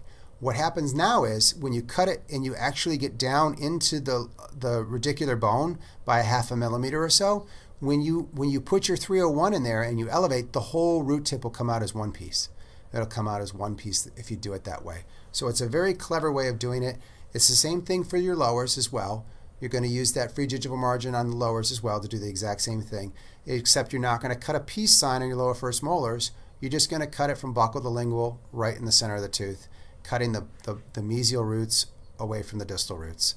Okay? When you're cutting these teeth, uh, always stop short of the lingual on the lower. Okay? You don't want to go straight through the tooth on the lingual and then through the bone on the lingual and then potentially nick the lingual nerve. Okay? So on the lingual, you're going to make your cut and then you're going to have your assistant rinse and then you're going to visualize the remaining tooth structure and you're going to leave just a hair, just a hair on the lingual. And then what you do is you go in, you can go ahead and cut the buccal if you need to. Cut straight through the buccal, leave that buccal bone cut straight through the buccal. But then when you put your 301 down in there and you rotate it, the, the tooth is going to pop. And I like to warn the patient. I say, Mr. Smith, when I rotate this instrument, you're going to hear a little pop. I fully expect to hear that, okay? And then you hear this little pop. That's the tooth fracturing the rest of the way down. And at that point, you should have cleared enough space for you to elevate these both of these mesial roots and distal roots into that space you've created with that 702 burr. Occasionally, we, we need to be a little bit more fine-tuned, which is why we use this burr right here, the 859 by Brasseler. It's a very, very fine-tipped diamond burr, and this is this can be used for a, a multitude of things. But if you have a root tip, uh, let's say you want to do an atraumatic extraction in the anterior, and you and um, there is a root tip, not by your cause, because if you were doing it following our protocol, that root tip would be loose. But let's say the patient came in with trauma and they fracture the tooth and the root tip is a is uh, two thirds of the way down the socket and there's a little tip in there and you can't seem to get any purchase point on it. This is where this medium uh, needle diamond comes in really handy and you can go ahead and do it in um, uh, a hemisection of the remaining root tip, preferably from the facial to the lingual, being very conscious of the buccal bone. And then when you elevate those two pieces together, you won't be applying any forces to the buccal bone. It's called the cat eye technique because when you look down in the hole, the slit you made in the tooth and the remaining root remnant will look like a cat eye. Always have an eight round. You never know when you need to roughen up the surface of the tooth of the socket. And then this is the cube. So when we're doing surgical extractions, I always have this cube in my in, in, handy in my operatory, and it is a piezo. It is the simplest, most powerful piezo I've ever used. It has two things on it. Water, so you turn up or down the water, and then you turn up and down the power. That's it. They made it really simple for us guys.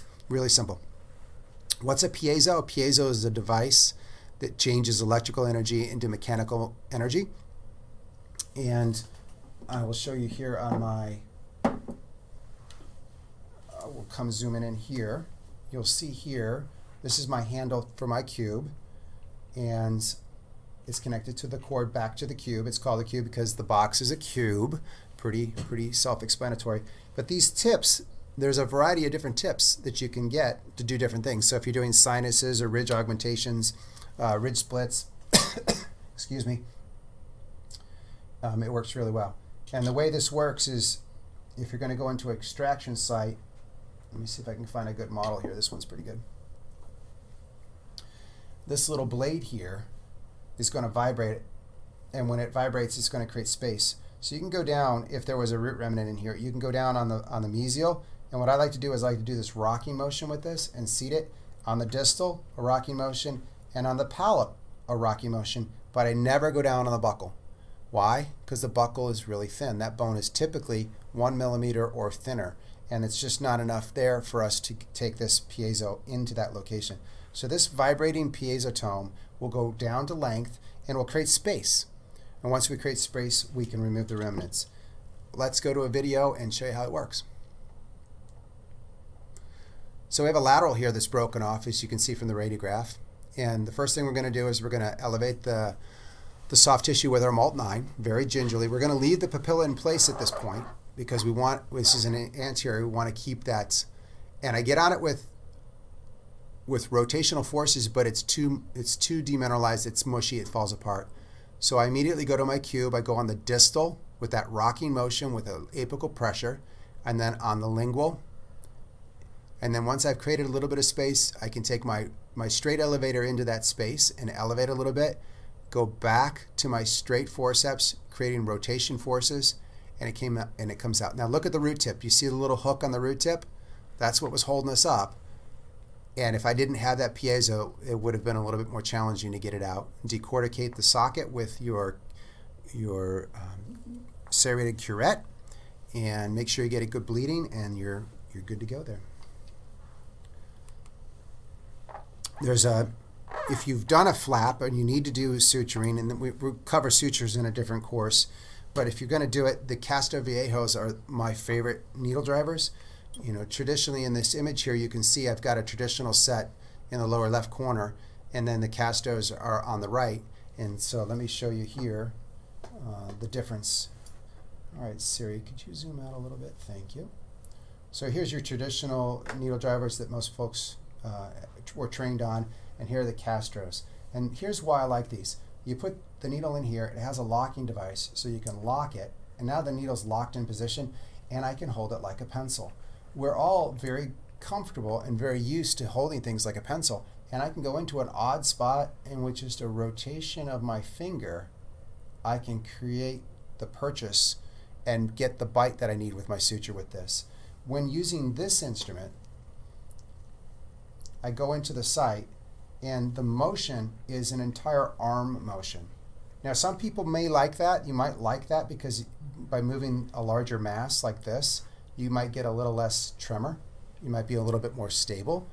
But personally, I find that working with the the the the dexterity with the finger movement with a rotation like this works really well for me. So this is what we use. We have this in all our Perio kits. Uh, the Castroviejos like it a lot.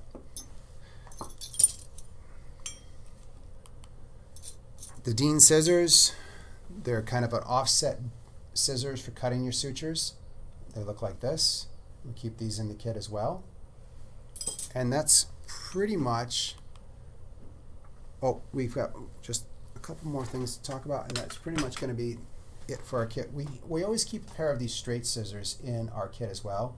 The Iris scissors, they're very small and very delicate, and they work great for cutting little things that need to be cut, but they also work great for cutting your collagen. So if you're doing an, an ice cream cone, like Tarnow's ice cream cone technique for uh, grafting, and you need to really trim the cross-link collagen membrane, this works really well for that. So these work great for that. We keep those in the, in the kit. And the last thing I want to show you is the, I think, whoops, I went one too far, is this right here, which is our oral surgery cassette. And we love to keep all of our instruments in these cassettes. They're color-coded and they're um, labeled for the procedures that need to be done. So a standard extraction kit uh, will have the instruments that we covered today. And then if we were doing any sort of soft tissue work or uh, like perio work, we'd have another small kit that would augment this. Or if we were doing uh, sutures, or that we were doing a lot of suturing, we'd have another set that would have an augmented set. So we keep them in these cassettes, and I like these a lot. All of this will be available to you at the end when you fill out the survey which is the last thing you need to do in order to get your, your CE. You're going to fill out the survey, and that survey is going to also come with a, a PDF that will have all of these products labeled and numbered for you so that you guys can go through and pick out the ones that you like if you, if you need to get those. So fill out the survey. Please be honest. Send us back your honest feedback. It's a link. Yep, they're going to get a link in their email. And then you click on the link, and it'll take you to the survey, and you'll also get the um, the um, PDF from Hu-Friedy. Guys, I'm sorry about all of the glitches that we had today, but uh, I want to say thank you for staying with us. If you're watching this in real time, then fill out that survey now. You'll automatically get your CE. If you're watching this video after the dates today is the 6th. If you're watching this after the 6th, in order to get your CE, simply just get in touch with Catherine at Stanley Institute and she'll take care of that for you. So just send us an email. Here is the list of all of the opportunities for you guys to follow us and uh, stay in touch with us. you can reach us on any one of these handles. Uh, reach out to us anytime if we can be of any assistance to you. Was there anything else? Just contact us. Yep. Yep, you can contact us through our website. Just go to stanleyinstitute.com com, and, and there's a contact us button, and you can click on that and, and go straight to us. So So let's let's, go go to to the the questions. questions. What questions do we have? Um,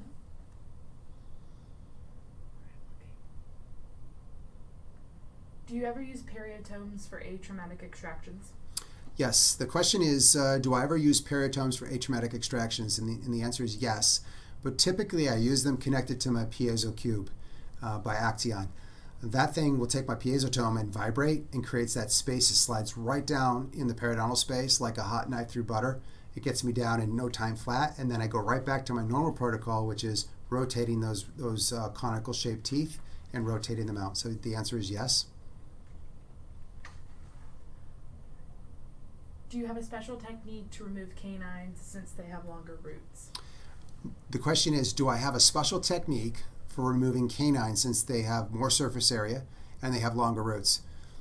I mentioned it earlier, uh, kind of, but not really. I'm still going to rotate those teeth out just like all the other teeth, but because they have a longer, a longer uh, shank, I mean a longer tooth, and they have more surface area, oftentimes what I'll do is I'll I'll get on them with my ash forceps, which creates that mechanical advantage, and I'll go to rotate them. And if I feel like I'm pushing too hard and then I'm, I might risk the, the, separating the crown from the root, I'll stop and I'll wait. Uh, I'll make up an excuse if I'm going to stay in the room. If I'm going to leave the room to go do something else, I'll say, Mr. Smith, we need to get a special instrument. I'll be back in just a minute, and we'll just let the let the tooth wait three to four minutes and come back, and then get right back on it with the Ash forceps. And almost every time, it comes right out. It's probably been 10 years since I've dug for a root tip on a canine. They, if you follow this protocol, it'll come out every time. Do you lay the patient all the way back when you use the ash forcep for maxillary teeth? I keep the patient uh, probably about 30 degrees from horizontal, so the chair is probably about 30 degrees for maxillary teeth. And then for mandibular teeth, they might be closer to a 45 degree angle. So, no, not all the way back. Uh, I don't have any issues with vis- uh, vision or access with the ash forceps in the top or the bottom arch. Thoughts on the physics forceps? Physics forceps. Uh, the the Golden Misch physics forceps. They've changed names uh, a number of times. I like them a lot.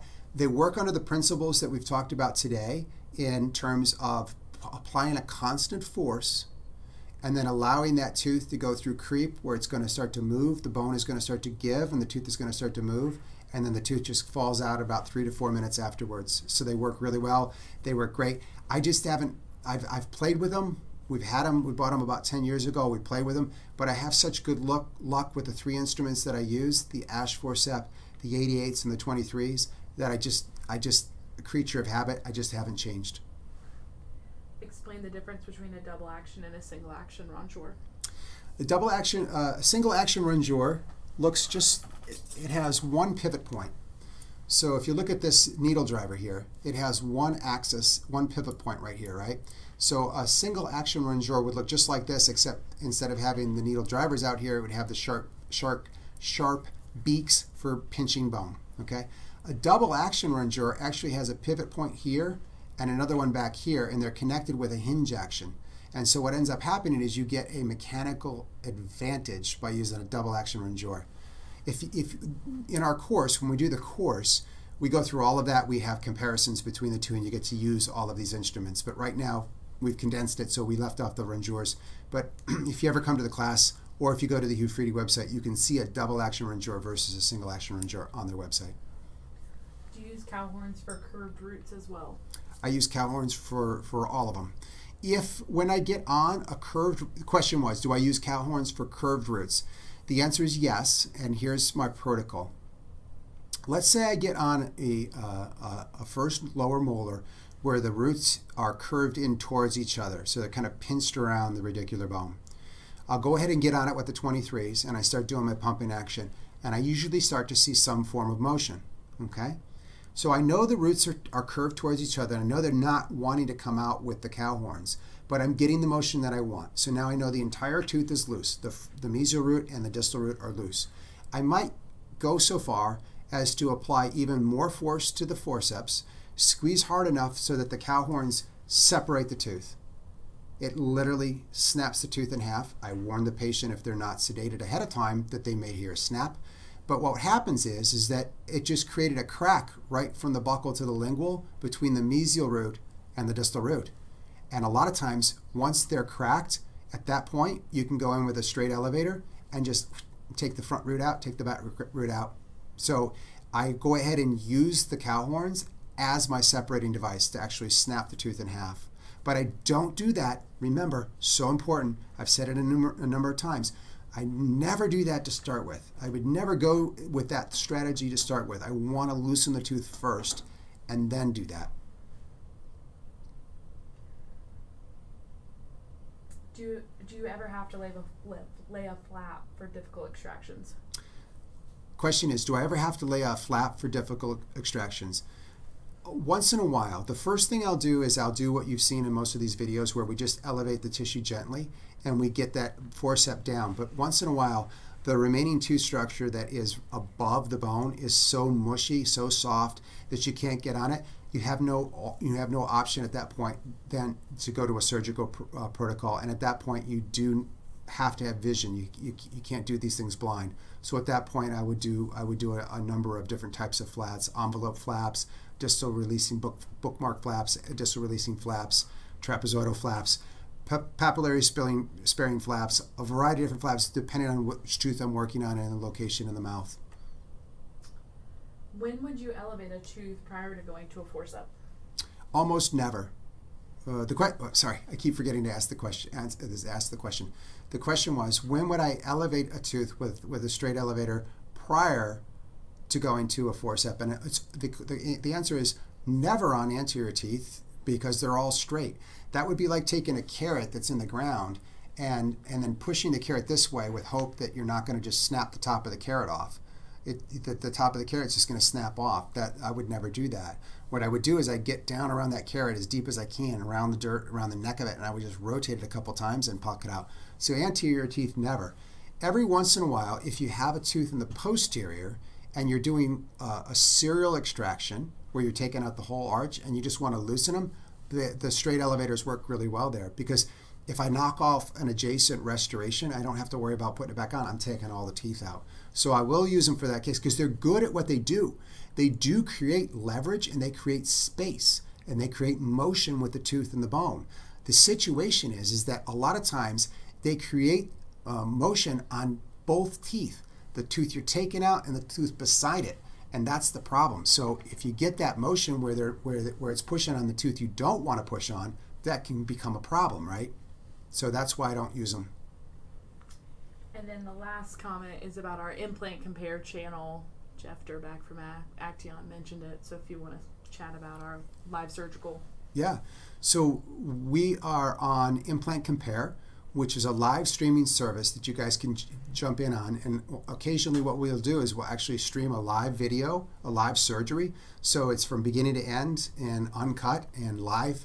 Uh, hopefully, a little bit better than today's than today's uh, ex- escapades that we had. I apologize for the three little glitches we had today. But the, a live video from beginning to end, and it's free.